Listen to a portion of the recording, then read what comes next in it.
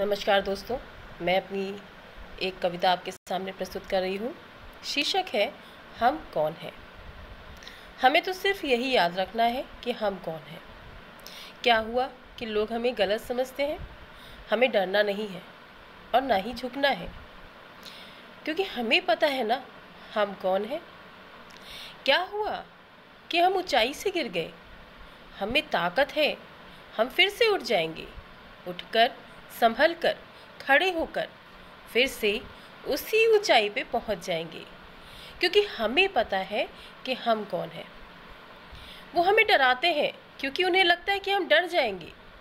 मगर उन्हें दिखाना है कि हम अपने आत्मबल से एक दिन फिर उभर जाएँगे। क्योंकि हमें पता है कि हम कौन हैं। चलते हुए लगती हैं ठोकरें रास्ते में, मगर यही ठोकरें हमें सिखाती हैं।